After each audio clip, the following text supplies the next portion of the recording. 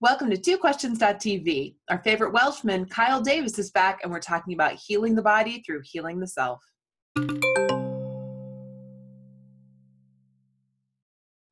Welcome to Two Questions.tv. I'm Susan Baroncini-Moe. Joining me again today is our favorite Welshman, Kyle Davies, a coach, author, and trainer. He teaches people how to optimize their well being, attain clarity of mind, and perform more effectively at work, home, and in life. He's also the author of this book, The Intelligent Body Reversing Chronic Fatigue and Pain from the Inside Out. Hi, Kyle. Welcome back to the show.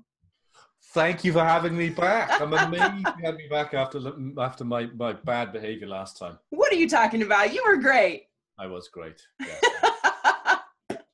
well, last time on the show, we spent most of our time talking about stress and the impact that it has on the body. And I realize this is a massive topic, and your book is very rich with a lot of wisdom. And I wanted to have you come back because we just didn't have time in the first interview to capture it all. And I may ask you back again if you'll come back because there was so there's just so much in here and there is just, a lot in there because i think yeah because people are at different levels and people are at different yes. stages and i think that that there's not a one size fits all. So my right. work is a is a is a framework really, and you know I can't I can't say to people right well here's the the five steps you follow, and even though that is what everybody wants, people want that those five steps. I, am not sure that we can really do that any anymore. Anyway, right. sorry, you were going to ask yeah. me a question. Oh, well, okay, all right. So well, in the book, you talk about how symptoms are solutions. And I think that's perhaps an interesting place to start today. So, could you explain that concept a little bit? I can. Um, so, I, I think. what if you said no? no, oh, absolutely nope. not. Sorry. no, don't read the book. anyway. I think people intuitively know this. Um, because I think that there is, you know, if you're walking down the road and a stone pops in your shoe, you feel a sharp pain in your foot, and you know that, oh, look, that's that pain is there to tell me something. I've got to get that stone out of my shoe. Or mm. if I'm hungry or if I'm thirsty, we know because there's a feedback mechanism, there's something I feel inside. So with my work in energy flow coaching, we just kind of extrapolate that and we say, well, actually, everything that we feel, every symptom that we have, is a message from our intelligent mm-hmm. body to say, oh, hello, it's trying to get our attention. And I know it seems, seems very simple, but as I say, I think people intuitively know that. I think what happens is that people trust themselves to, to a certain degree. And I think it's the kind of thing that if a person has, has a, a frustrating day at the office and they suppress their frustration and soldier on and they come away with a with a, a, a bad head at the end of the day. They kind of know that we've got this bad head because of you know the way i was what things that happened at, at work today. Um, but if that bad head then gets worse or becomes chronic and lasts a week or two weeks or three weeks people kind of switch off from that intuitive knowledge they have and they begin to they then go to their to their, their doctor and the, the, their doctor says oh right okay well you better take these pills and if it hmm. doesn't go away then come back and then they'll have brain scans and all these sorts of things and then they don't find anything wrong and so I think that it, there seems to be um, a. To, sorry to interrupt you, but to clarify yeah. for our American viewers and listeners, bad head is Welsh for headache. Oh yeah, headache. Okay, yeah. okay. Please continue. so so i think so that, that's the kind of idea really that my sense is that people kind of know this but there comes a point where symptoms uh, get maybe a little bit chronic or a little bit worse than they would expect that we slip into a mindset whereby we become very mechanistic so the body's a machine. And i think we're used to this model of medicine which is you know medicine came out of an idea of looking at uh, uh, looking at uh, um, illness and injury and anything else was kind of put, sort of put, put to one side. So yeah. it was, you know, kind of ideas were built around the idea of, right, well, we have particular illnesses or injuries and we have particular treatments for those specific illnesses and injuries. So it became very linear. Um, whereas, of course, when you get into things like stress and emotion, and the fact that I think what we're beginning to see now is that lot you know because we we've got lots of chronic health problems. You know so many people even though we know more about the our, our, our, our body than ever before we know more about about health um, treatments. We have more health treatments than ever before. Our bodies seem to be suffering more than ever before. So there's yeah. more instances of anxiety depression fatigue pain all these sorts of things. And those are the things that medicine is struggling to to to, to deal with. And i think part of the reason is because of that mindset of illness and injury. And if it doesn't fall into that category, we don't know what it is. And of course, there's the treating symptoms.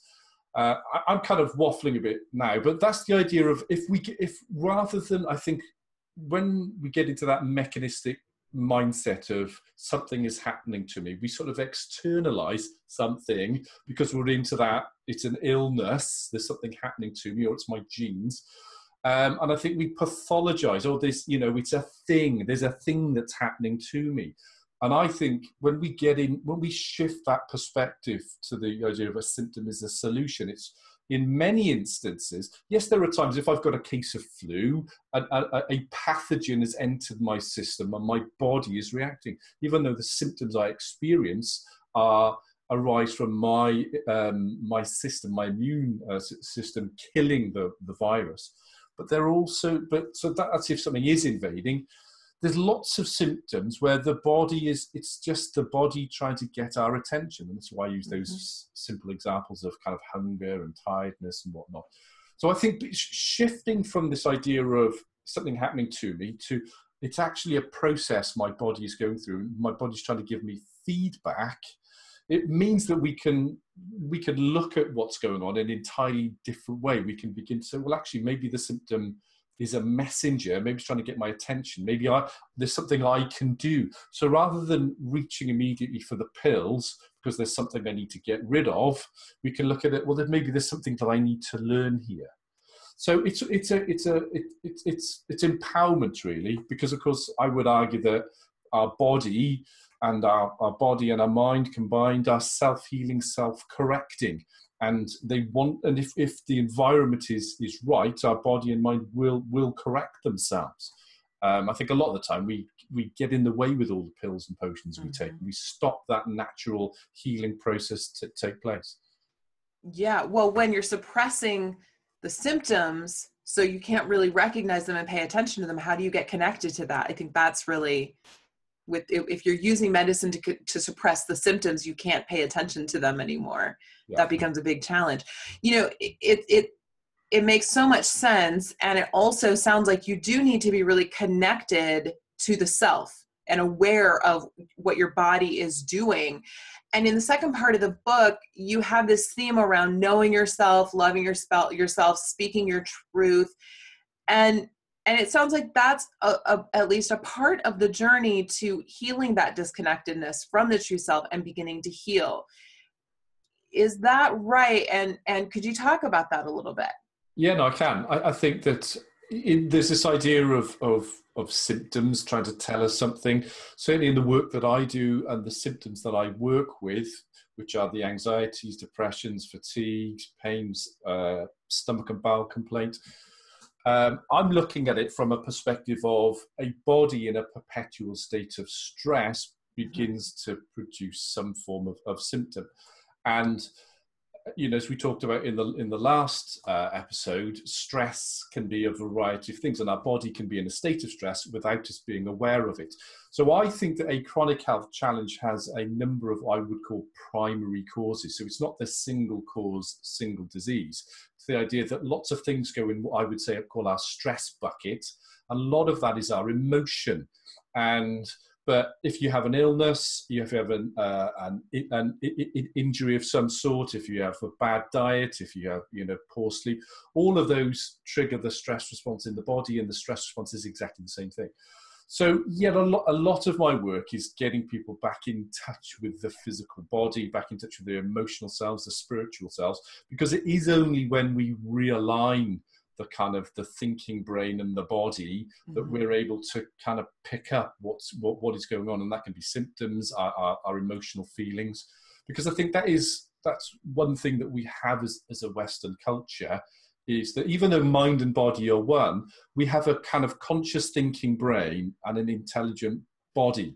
And I think that the two are often quite separate. And I often in I, I often ex- have the experience of of clients that tell me that their life is absolutely great, but they've got all these, uh, you know, this they have this disease or, or illness, and huh. you know that. Right, well, because I'm coming from this place of saying, well, the symptom is trying to tell us something. So your right. body and the intelligence within it is obviously not happy about something. Something is out of balance, and therefore the symptom. So even though your head is saying, "Oh no, life's great," what we need to do is connect those, so you recognise, mm-hmm. no, actually, probably life isn't great after all. But I think that this is one of the things that we have the capacity to get stuck in in our kind of thinking brain to kind of shut the trap door to, to the rest of, the, of, of our of our body, and we don't pick up on that on that feedback. So getting in touch with the body is definitely is is the first thing, and be that through through symptoms and then our, our, our other feelings. Because I my view is that everything that we feel is something that we need or ideally want to be aware of.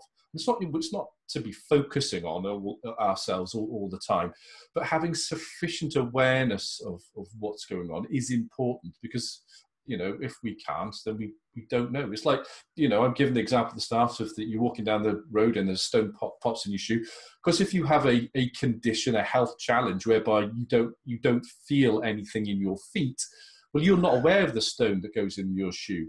Uh, and therefore you're not aware of the damage that's, that's being done. So yeah. being able to feel is important because that's the way our that's what our, our, our body uses to to give us this feedback. Yeah, yeah. So interesting. And it sounds like if you are disconnected and you have this idea like my life is great, but it's not because your body is telling you something different. Eh, I, I can see where someone might go, yeah, well, I'm fine living in denial. But if they reconnect and heal that stuff, then they get to experience true happiness. And real joy in life, not this illusion of it that they might currently have. Fair? Well, I, I think so. Yeah. I mean, my, my, sense is that there's a deeper level again that I think that we exist on a bit of a, a, a, a spectrum, and I think that there's a there's a, a limited self part of us that is trying to just get by. It's trying to. It's it's kind of fearful. It's in that space of I'm not okay. Don't don't don't, don't rock the boat. And then we have this kind of expanded self, which is a flow of consciousness, which connects us to all that is. That's the spiritual kind of part of us. That bit knows that right. Well, my experience of life emerges from within me. I I kind of I am okay.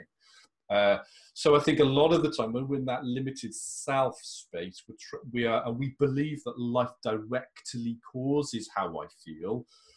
In that space, we're trying to limit the things that go wrong, and we want to, you know, kind of believe that everything is okay, and we try to control outside life because we think outside life is causing how we feel. Right. But that's a it's a bit it's it, it's a myth really because how we how we feel is emerging from from within us. When we can, what I look to do is nudge people up this spectrum. You know, we're constantly bouncing around, and we always have times where we don't feel great, as well as times where we do for for for no no apparent reason. But my work is about trying to nudge people up this this this spectrum where they let go of trying to control outside events and they, they connect to that flow of consciousness that is them. And then what emerges from that is more of a sense of joy and, and, and peace of mind, which I would say is better than in that limited self space where you're looking for the next fix. So you're going shopping or this mm-hmm. or that, whatever. You're trying to just to make yourself feel better for a very short period of time. Indeed. And of course, we have a culture that's, that's based around that, isn't it? Short term, short term brain chemical fix. Uh, yes. Too much. Yes. Kyle, I think you better come back. Would you like to come back? I'd love to come back. Thank you. All right, let's keep this conversation going. Thank you for joining me today. Would you like to come on the after show? Yes, please. Okay, awesome. All right. Great. I'm going to tell you a funny story on the after show. All right, viewers, if you'd like to join us for the after show, you can come with us. Head on over to twoquestions.tv. That's our URL. And that's the only place where you can find the after show. You come over there. Kyle and I are going to be over there. So We'll see you over there. Thanks for watching. We'll see you next time.